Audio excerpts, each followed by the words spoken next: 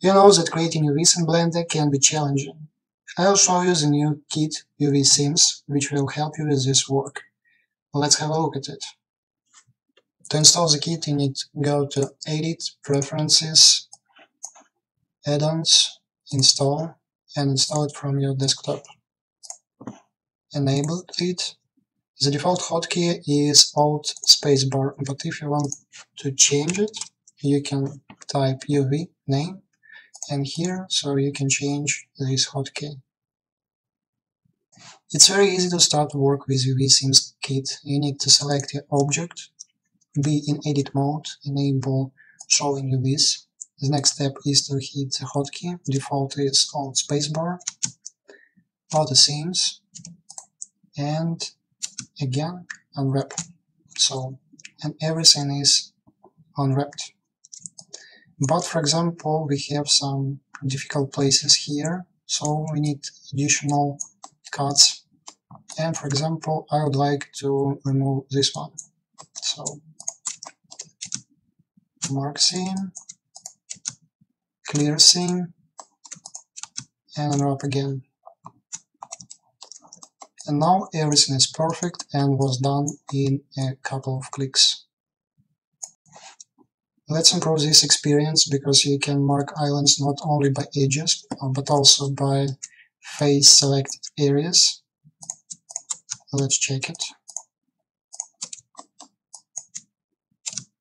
Unwrap and now we can see this big area here. But what if you want to edit it separately from other parts? It's possible. You need to have polygon or edge selected, then select the island and isolate switch. And then you can edit this model or this part of model separately.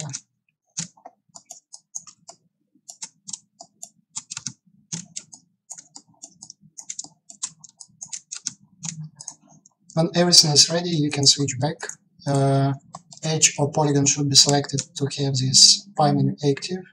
Switch back. And now everything is ready. The next important option is uh, smooth with hard edges. You need to hit it a, a couple of times. And for example now, if we select this part and hit unwrap, we can see that hard edges were select uh, adjusted automatically, which is really good scene for baking normal maps, for example.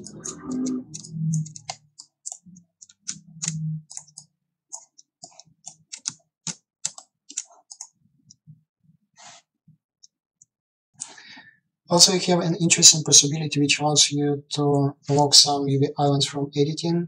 For example, if you want to separate ready parts from not ready parts, or if your model is too complicated. So to do it, uh, you need to select face or edge of UV island. Then you need to hit pin UV island. And now it's pinned. If you hit unwrap, this island won't be here anymore let's check it one more time. Pin UV Island. So you can notice that they have different colors. And they are not available for editing here. So to edit them again so we need to select polygon or edge of this island unpin and then unwrap. And you can see that this island is here.